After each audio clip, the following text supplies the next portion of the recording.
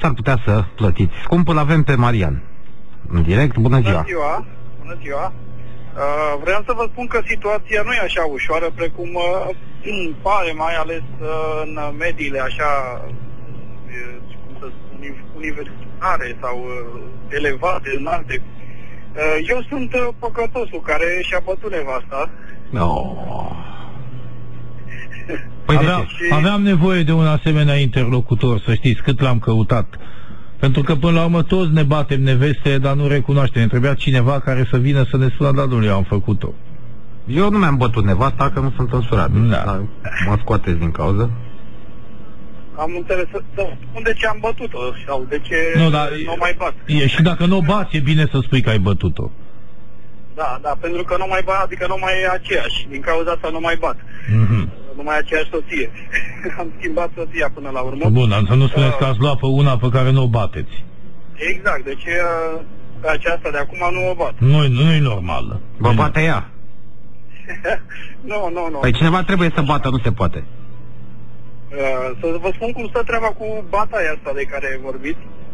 Uh, din diverse motive, uh, fosta mea soție avea nevoie de o bătaie. Adică ea făcea diverse lucruri. Venea beat acasă. Mhm. Una dintre lucruri care pot fi normale în anumite părți ale țării. Bună de tot asta. Venea săraca beată, păi, dacă n-avea cu cine să bea, dacă asta nu s-au duceați la băutură. Păi, nu, vezi, Marian, tu ești de vină. Trebuia să bei și tu cu ea. Și cât, Sau, cât, sau măcar să ai, Numai că- măcar să ai Numai că bunul nu simț să o făceam primești tu cu asta. zeamă de varză, cu acum ceva. să vă spun ceva, cât soț nu și-ar dori o soție uh, de asta care să nu zic bețivană, asta care să ține la băut. Cât nu și-ar dori?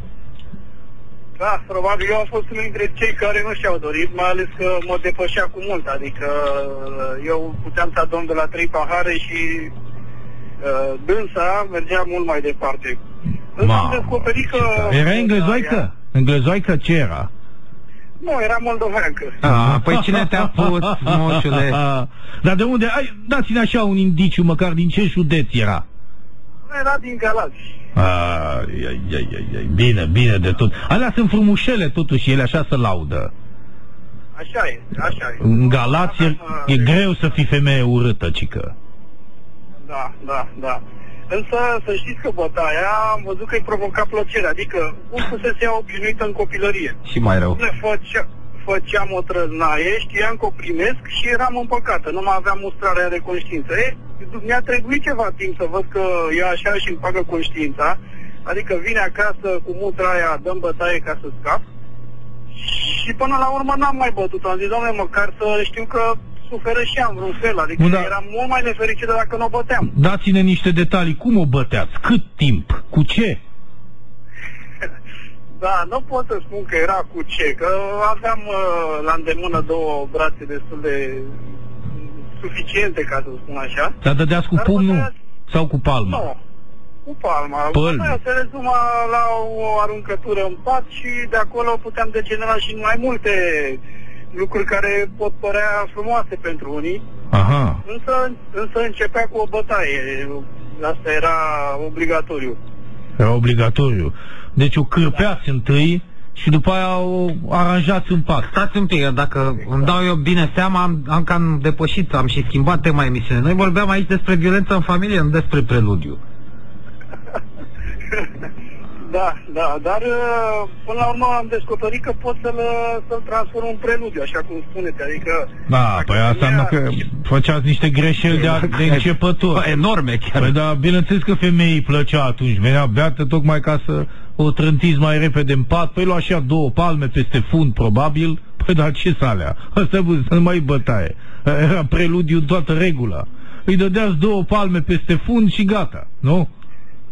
Doamne, uh, acum depinde de starea în care era și ce rău făcuse, adică putea merge mai departe, să fie o bătaie mai zdravă. nu? Aha. A, bun, în casa o dădeați cu capul de pereți sau ce? Capul de pereți nu, că, că ținea mult la capul ei, era aranjat bine, era frumos, dar uh, la funduleț mergea bine, adică... A, nu- păi bun, da, asta spun. Acolo Cum... nu stricam nimic. Nu îți trebuie, dar ei cred că îi și plăcea. Exact, adică bătaia până la urmă nu este rea dacă femeia o percepe ca o plăcere, mă refer, vreau să spun în sensul ăsta. În schimb, dacă o femeie se simte jignită, n-am nimic împotrivă să nu-i ofer bătaie, adică trebuie făcută o linie de, de demarcație foarte clară. Vă spun sincer, ne-ați dezamăgit. Am crezut că sunteți unul care într-adevăr și-al toia femeia și chiar vreau să știm și noi cam ce de făcut în cazul ăsta. Dar așa cu bătaia asta la funduleț, să știți că nu sunt de acord. Păi asta este până la urmă... E normal să vină tot mai beată, mai beată, ca să primească porția în fiecare seară. Da, bine, motivele erau mai multe, nu mai... Uh, Băutura. Adică venea și spune, știi, astăzi am trimis mamei mele, nu știu, 500 de euro pentru că avea nevoie. Știu că mi-ai spus că nu avem, dar venea cu motra aia care o știu și dumneavoastră la un moment dat, de, de păcătos așa, care își recunoaște greșeala, dar ea își o spășea numai când, când, când lua bătaie, altfel nu era fericită.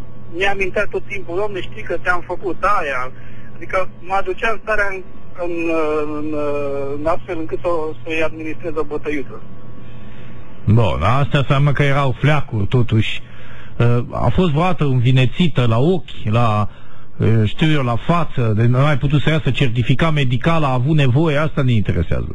Nu, no, nu, no, nu, no, nu, nu, nu, nu, nu. Am, în schimb, am, m-am trezit odată cu buza spartă, pentru că se pare că depășisem nivelul de suportabilitate, să înțeleg, și a venit o replică destul de agilă, pot să spun.